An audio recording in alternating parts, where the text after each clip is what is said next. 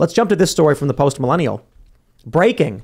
Trans male arrested for planning Colorado school shooting had anti Trump manifesto. Whitworth faces charges of attempted murder after allegedly making threads against schools in Colorado Springs, Colorado. This is crazy. So, this is a biological male who is trans identified. His name is uh, William Whitworth, was arrested and charged after police investigation in Colorado Springs revealed the 19 year old was responsible for threats involving schools in Colorado Springs Academy District 20. The Teller County Sheriff's Office charged Whitworth with two counts of criminal attempt to commit murder in the first degree, criminal mischief, menacing, and interference with staff, faculty, or students uh, of edu- educational institutions. Now, apparently, uh, I, I would say based on this reporting, this must have happened well before the, the, the mass shootings that we, uh, that we saw in Nashville. However, when this individual in Nashville is being called a victim by the Nashville protesters, by the Nashville, I'm sorry, insurrectionists who stormed the Capitol, they held up seven fingers, Right. symbolizing that the individual who committed the mass shooting was also a victim. How many more people of leftist persuasion will will think to themselves, if that if they do this, they will also be cele- celebrated? Well, transgenderism, the extremism, it's it relies on violence to get its way and the air of violence. When you tell all your supporters and, and folks going through this, like this young man, that critics of you or those who don't share your views are uh, their their criticism is violence. Genocide. You know that that that uh, it, it puts a target on people's back. That you, you you don't agree with me? That means you're violent. And if you're violent, you don't deserve protection, and I can defend myself against you. If you're a fascist, you're outside the protection of the law, and we can go after you and, this be is- violent And this is how you. they frame it. They frame it as though it is self-defense. Right. When you say words. right. So- if words are violence, you're all a target, America. You're all a target. It's hard for me not to see uh, a martyrdom component to this too. Like if you feel like you are depressed and you've got all these questions about who you are and your gender, and your online community is telling you there there is a need to take action now. That in some way you may find that you are uh, pursuing, uh, you know, basically immortality through a terrible act, and that you know, for the rest of us would deter you from doing this. But if you're in a psychologically disturbed state, you see it as the ultimate call to action, which is tragic and it can really. It's terrible. Mean, imagine imagine if you've been ripped away from your biological reality. But that's what's happened to these folks. They've been caught up in this the thrall of this extremism, and everything that people rely on to get through life. Uh, you know, I'm comfortable. I am, am me. I'm Yeah. you know I There's am no what I sense of, am. like, true north because everything everything, be- and, and of course that's the communist way, right? They want to take everything away from you, so you rely on them and their ideology ultimately, and that means tearing apart the family, the institutions that compete with the state, religion. Uh, and also uh, tearing tearing you away from your biology. I mean that that would be the best victory for the left. Well, think about Nothing, nothing is certain. And the only thing is certain is this consciousness that we will raise for you through the Marxist revolution. I think it's it's poised to shift at any moment into who knows what. There's there's no reason, in my opinion, that it stays with just the gender issue because we've also seen transracialism and things like this. Now they've been slow to actually accept it, but it seems like they may be getting towards accepting it because, according to their ideology, they have no choice but to accept it. Right? The the argument being that if anyone can identify as whatever they want, if a person appears white but agrees with them ideolo- ideologically and claims to be black, then they must be. They are. And so the door has been opened completely to, to even transracialism. Right. Now you're starting to see universities. And that blows few up our anti-discrimination laws, right? Yeah, I that's mean, the if, funny Tim, thing. if you go in there and you identify as a black-owned business, who's to say you're not? well, Serge is African American, That is correct. I am. Yep. South Africa. South Africa, yeah. yeah, yeah. Well, I understand, but and and uh, you know, and that they kind of deny they're rejecting all these fundamentals. They don't believe in racial equality. They don't. They believe in racial discrimination. They absolutely do not believe in racial And, equality. and I tell you, and I tell you, this transgenderism, the targeting of children, and the endorsement of mutil- mutilation of children. I mean, that's demonic.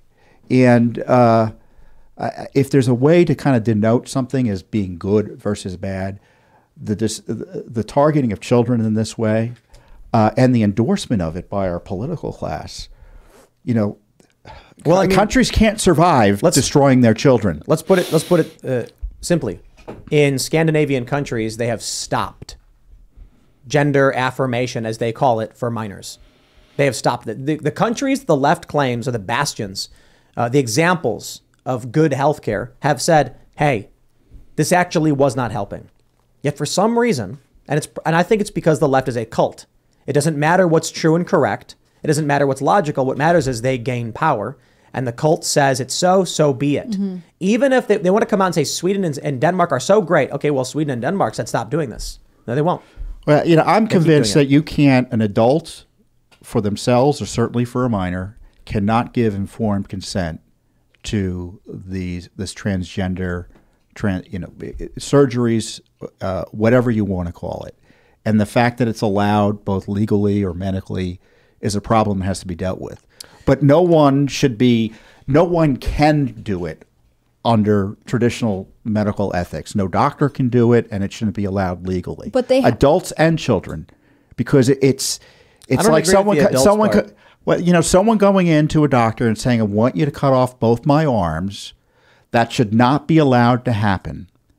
And and the idea that someone can ethically do that as a doctor, or that someone can consent to that under I- traditional standards of uh, uh, informed consent laws and under and ethics, it, it's it's at odds with Well, everything we know about medical But but treatment. but see, the question I have with this when it comes to adults is what is the ethical line? And so I can certainly understand removing someone's arms because that makes them that makes them dependent to a certain degree.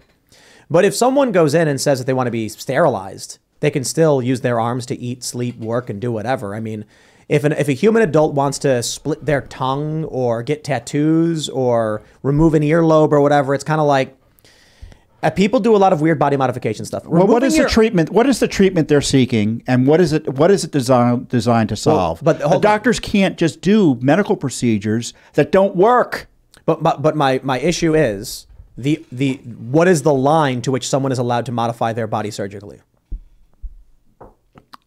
I don't know what the line is, but I do So- know. so- I mean, just because I don't know what the line is right now doesn't so- mean that it ought to be legal to have you go in and have a doctor mutilate mutilate your body to treat your transgender dysphoria. That's that's the opposite of what should be done medically, and it should be prohibited under law, just like other radical surgeries would be prohibited in, in similar circumstances. What about tongue forking?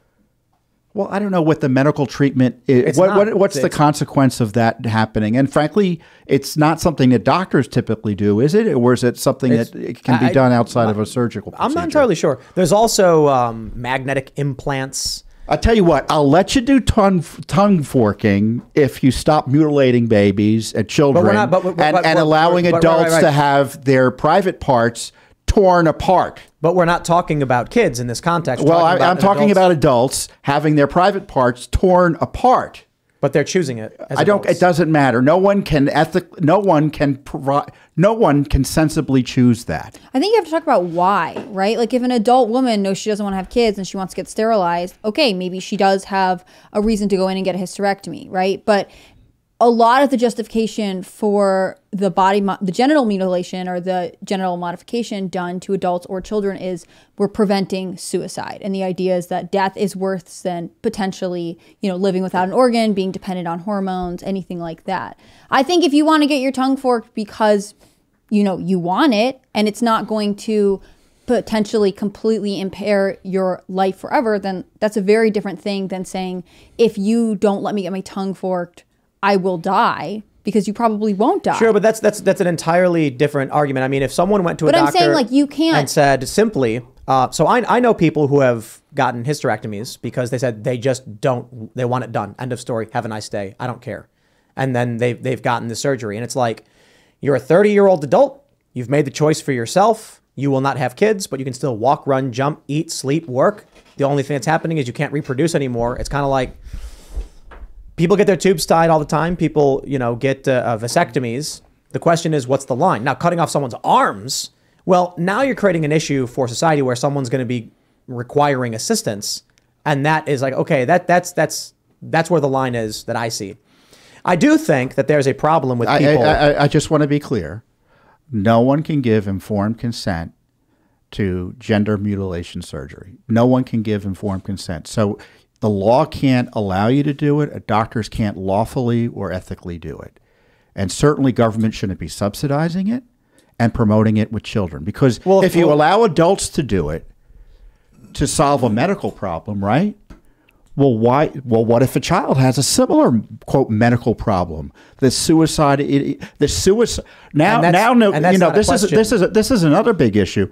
So we now give you whatever you want in terms of medical treatment because you're so far gone psychologically and emotionally, you could commit suicide otherwise. That started in the 90s That's with the that- that- opioid problem. That's like a hostage situation. That's not medical treatment. they started to have to treat But. I, I, I, I don't want to conflate the c- claiming children can get sex changes with a legal adult doing whatever they want. Well, they conflate it, so you need And to understand the the, the But I. I totally get it. And so I have I have a line there where I'm like, do I think people who are adults should undergo body modification at all? No, I think it's all bad. But uh, okay, if you're gonna if you're gonna go, you know, get strange body modifications because you want to look or feel a certain way, it's just kind of like. I don't know, man. That's just me. I've never been staunchly conservative in that, but going after kids is the line. I mean, that- look at this Dylan Mulvaney, right? Everything he's about is the targeting of children. absolutely Everything he, he, he when he talks about my 365 days as a girl, what what adult female? Maybe I don't Well, he's know not enough saying adult womanhood. female. He's saying girl. Yeah, he's who- already talking about minors. What adult ma- females go around talking about girls in a regular way, other than in a joking way? He is not joking, and he and he acts like a teenager. He acts like a young w- uh, a young female. he female. does not act like a teenager. He acts like a little girl. well, he doesn't even act like any. He doesn't act he even acts like, like, a a, caricature. a caricature of what he thinks a woman or a girl is. But Let's- the let's- he's targeting children. Thanks for watching this clip from the Timcast IRL podcast. Hang out with us live Monday through Friday at 8 p.m.